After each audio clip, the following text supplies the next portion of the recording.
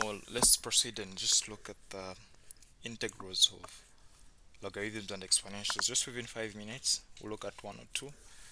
So we've already established to say integration is like the reverse or anti-differentiation or the opposite of differentiation. So we'll approach this in such a way. So I've already told you to say when you look at uh, y is equal to e to the power 2x so one thing that we were doing to differentiate that we are basically saying our derivative is going to be whatever you have get to divide by what? Get to multiply by the derivative of a power. So the derivative of a power so first of all maintain what we have and then multiply by the derivative of a power which is a 2 and then natural log of a base. So now of course in a case where we've got an exponential that is not necessary because it becomes what? 2 e to the power 2x okay. So the opposite of that is you understand that okay well if that is the case if integration is the opposite of differentiation if I've been given the integral of 2e to the power 2x one thing that you'd have to look at is okay well since I've got an exponential function and since integration is the opposite of differentiation since for differentiation I multiply by the derivative of the power and then natural log of the base what is going to happen is this time around I'll divide. So if you have 2e to the power 2x you are going to divide by the derivative of the power which is a 2 and then of course natural log of a base plus a constant c. So here what you can see is 2 and 2 will divide. And what and you know that the natural log of e is a 1 so what remains is e e to the power 2x plus what? Plus c i think this is this is proof enough to say integration is actually the opposite of differentiation. So well if that is the case how about in a case where we can have a look at our y being equal to 2 to the power 2x for example. In such a case what might you expect there or what should you expect? So in this case you know that if you are to look at your y prime you expect that the derivative in this case is going to be again we multiply first of all maintain what we have 2 to the power 2x and then we are going to multiply by what? The derivative of the power which is a 2 and then of course natural log of the base which is just that. Okay? So if we are to reverse that what do we expect? So the reverse of that which is like expected with the integration of course what we have here is we have 2 to the power 2x multiplied by a 2 multiplied by natural log of 2 as our derivative. So for integration we're going to basically do the opposite. That is we'll divide the entire thing by what by the derivative of the power and then divide by the natural log of the base as well. So that goes away that goes away this goes that goes. So it takes you back to that plus c. Okay. So at least we are now getting the idea there. So integration is the opposite of what? Integration is the opposite of differentiation. Now so we've looked at a few examples under exponentials. Let's try to look at logarithms with what's going to happen. So if you have got y is equal to natural log of let's say 2x right? Um, yes let me start with x squared. Let's say x squared um, okay let me use x first of all. There's a reason why I'm trying to use x. So if I use natural log of x one thing that we we know that the derivative of that is going to be the derivative of natural logs or logs is first of all the derivative of what is in the brackets which in this case is equal to a 1 divided by the actual which is just x. Of course we understand that we're also supposed to put the natural log of the base e.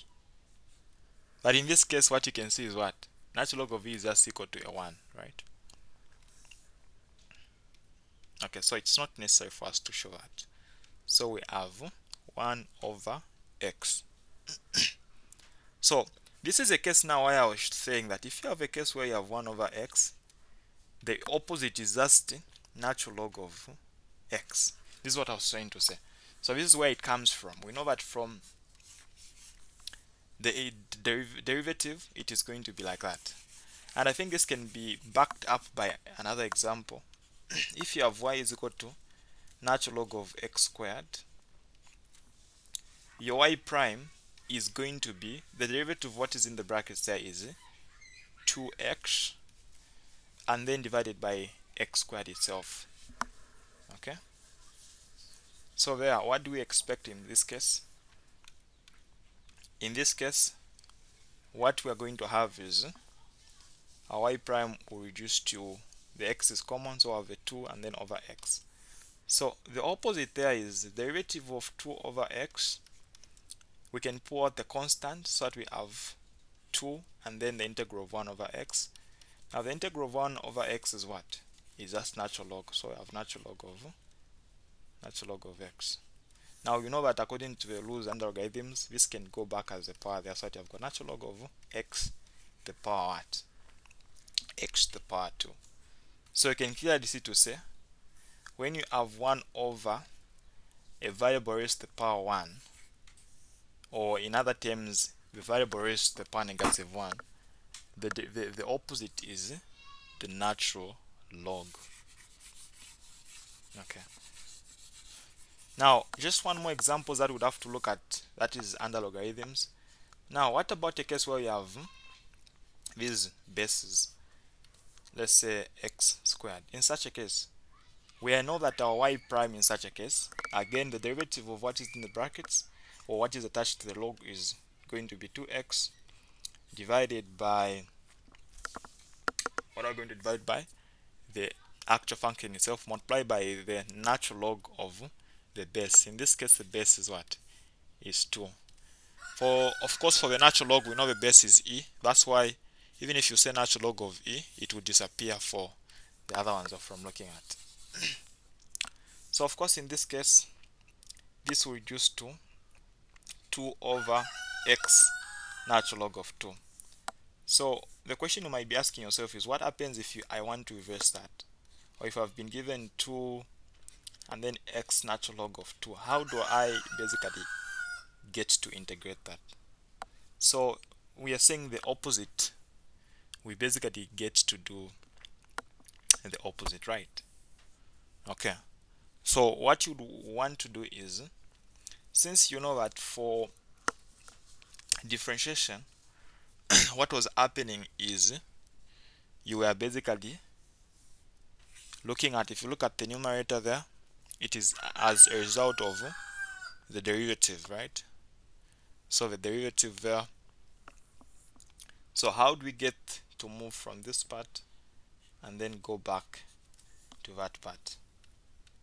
So you can pull out the constant which is a 2 and then we have 1 over x and then we can split as well. We have what? 1 over um, natural log of 2 1 over natural log of 2 I believe is uh, is a constant. So we can actually pull it out as well. So let's pull it out so that it can be outside. So 2 over natural log of 2 as a constant. And then we understand that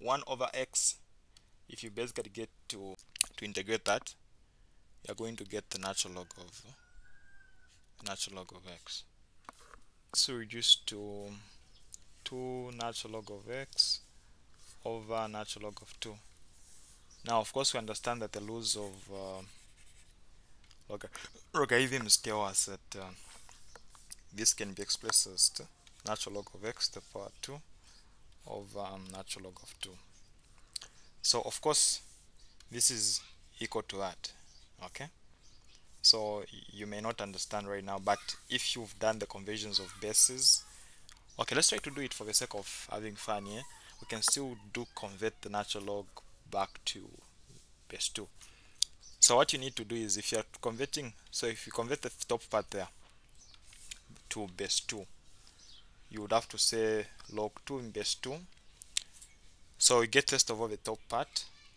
and then you again the same base log 2 now with the base the base of natural log is e. So we are going to divide so divide what are we dividing with? The converting natural log of 2 to, to base 2 so the base is e. So again we're going to have log 2 of 2 and then log 2 base e. Now dividing is as good as multiplying by the reciprocal. So if we do multiply there will be an exchange the e part goes on top and then the 2 goes down. Of course that is equal to a 1 this and this will divide. So we are going to have only log 2 of x squared remaining. So you can see clearly to say indeed integration is the opposite of differentiation